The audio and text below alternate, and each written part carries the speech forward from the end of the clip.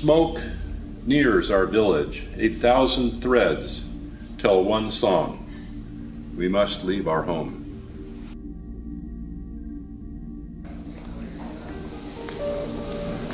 So, this global participatory art project did not start out that way. What I had envisioned was to visually represent this astronomical number 25 million, which is the number reported by the UN Refugee Agency when I started the project as the global refugee count.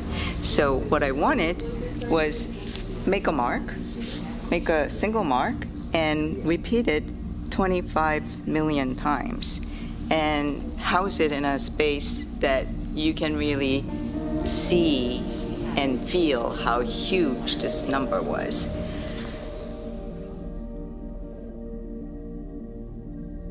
I think it disarms people because it's, you know, what your grandmother used to do. Even though the subject matter might be really inconvenient, challenging, and, you know, we have different opinions about refugees, um, you can approach the project like, oh, it's stitching. So um, I'm trying to lower the barrier that people have about certain issues and bring people together to be able to discuss this as just human beings.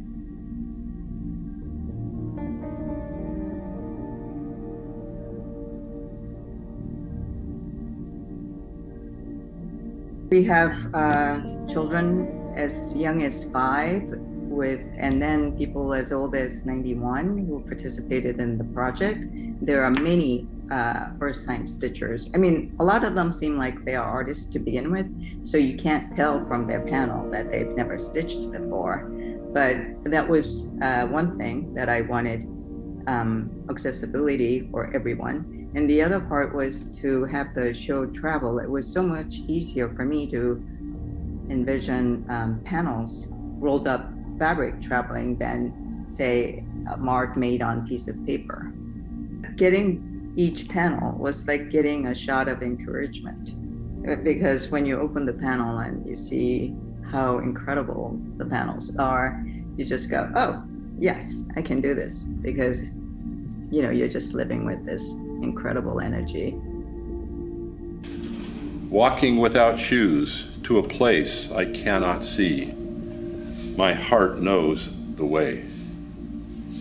Still think it's miraculous that we were able to get this done within a year. And people keep asking, How did you get that done? I have no idea. It just resonated with people to be, uh, you know, express their support for the refugees this way. And I hear from the visitors um, that it's an uplifting show, and I'm so really happy to hear that because um, we're talking about other people's sufferings and we're acknowledging that. And rather than the show coming off as something grim and difficult to process, what you what you feel is hope and support. I wanted it to be non political. We have to be beyond that. It's a problem that touches every single person on earth. I want it to be a platform to start a conversation. When people come to see the show, and when they leave with these all these images in the back of their mind, I want them to look at the extreme weather a little more seriously. Um, you know, and not consider refugee issue as, oh, it's a problem that's ha- happening to someone else. And I mean, at, at when we first started, there were people who were asking, how is this project going to practically help refugees? This is such a huge issue, and people feel so helpless that you just want to push it away and, you know, focus on what's on the news feed today the headline today. But I think because this encompasses so many issues like climate change and political and religious strife, we need to deal with it. And it takes really sustained engagement like the stitching itself.